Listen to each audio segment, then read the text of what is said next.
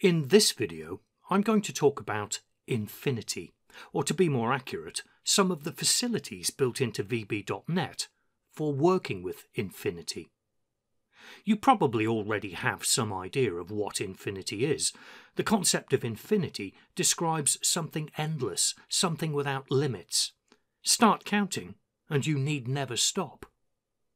The standard symbol for infinity is the so-called lemniscate, which looks like a figure eight lying down. The ancient Greeks were very uncomfortable with the concept of infinity, because it didn't sit well with their view of a world governed by mathematical ratios and harmony. And then there was the so-called infinity paradox.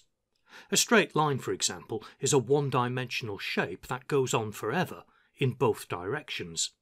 It consists of an infinite number of points, side by side. A point has no size, so it follows that a line segment, a finite part of a line, contains an infinite number of points between the beginning and the end. How then can you ever get from A to B if there are an infinite number of places in between? And what about infinity plus one? Exactly how big is that? Infinity is an imaginary abstract concept, for sure, but it's nevertheless very useful. Infinity underpins a number of fundamental concepts in mathematics, such as set theory and calculus.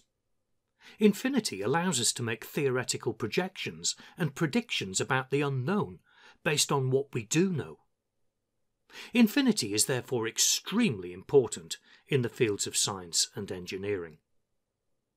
Let's take a look at how VB.NET handles infinity. I'm going to start by declaring a few variables.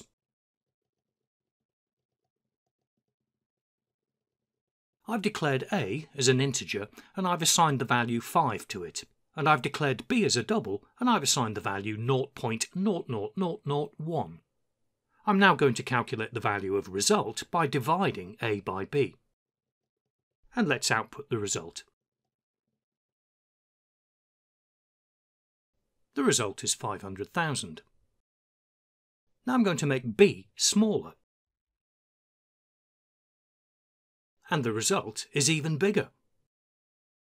Let's make b even smaller. As b gets smaller, the result gets bigger, and eventually the result is too big to fit into an integer variable, so I'm getting what's called a system overflow exception. The biggest value I can put into an integer variable is around about 2 billion.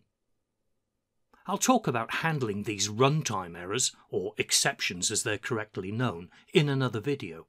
But suffice to say for now, as the value of b gets closer to zero, the value of result approaches infinity. Let's try something else.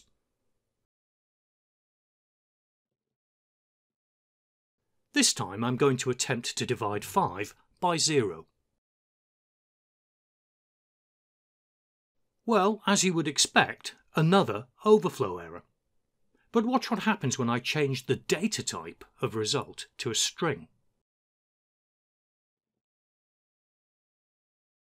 This time, a lemniscate is being output. The result is infinity. Now this is peculiar to .NET.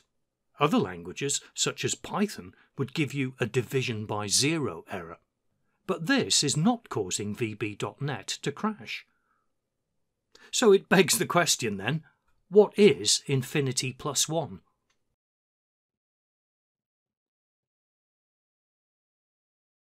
Infinity plus 1 is still infinity. A mathematician could have told you that. What about infinity multiplied by infinity?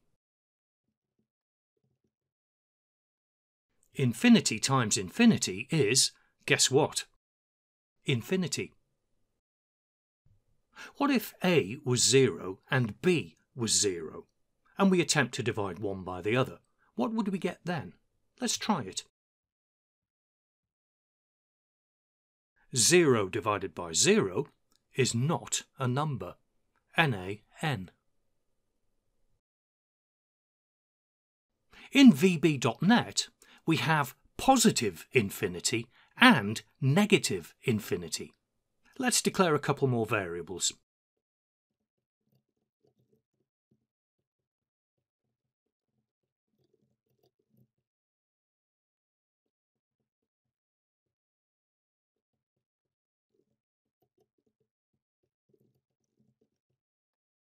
So in my first calculation, I'm dividing 5 by 0, as I did before.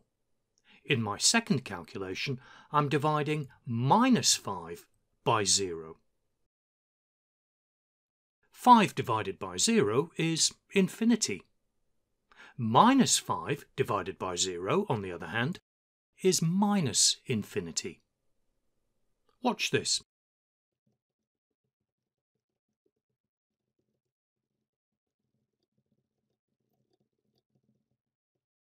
If the result of this calculation is bigger than the result of this calculation, we will say so. Positive infinity is bigger than negative infinity. Indeed it is. By the way, I didn't ask if result 1 is bigger than result 2 because result 1 and result 2 are string variables. VB.NET would simply do string comparisons and the outcome would be different. If I need to, I can test to see if a calculation has generated a result of infinity.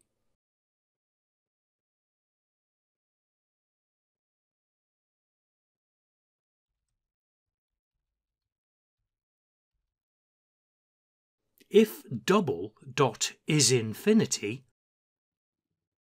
and there's the variable containing the lemniscate, equals true, then I will report that the result is infinity. Not only can I test if a result is infinity, I can test if a result is positive infinity, negative infinity, not a number, and something called epsilon. Epsilon is the smallest possible value which you can have which is greater than zero. Now, as I said before, in other programming languages, if you attempt to divide a number by zero, you will get a runtime error, a division by zero exception. However, VB.NET and indeed other .NET languages, such as C Sharp, can still throw a division by zero exception. Let me show you how to do integer division.